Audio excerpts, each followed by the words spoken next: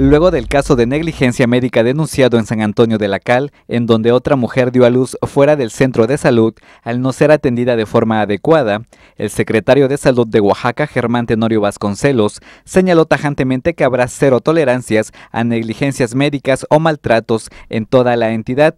En este caso ya se presentó la renuncia del director de la unidad médica y el responsable en turno de la misma, aunado a las investigaciones correspondientes, y en caso de que la afectada decidiera denunciar, se tendrá que actuar con apego a la ley.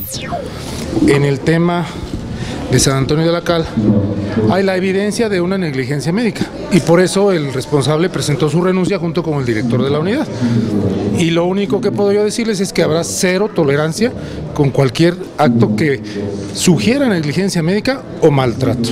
Se han turnado ya que la paciente no fue explorada, que fue regresada a su casa sin haberla revisado y que por lo tanto pues no dio tiempo a que regresara a tiempo para estar en la sala de partos donde debería haber estado desde un inicio. Aseguró que el Sindicato de Salud mantiene la misma postura respecto a casos de negligencia a fin de mejorar los servicios. Dijo que este caso es diferente al de Jalapa de Díaz, confirmando los actos de negligencia a comparación del de Jalapa, en donde se apegarán a las recomendaciones emitidas por derechos humanos, pues ahí no hay indicios de negligencia. El sindicato también tiene la misma postura, cero tolerancia a las negligencias o aquello que parezca una negligencia y más cuando puede poner en riesgo la salud de la gente o su misma vida.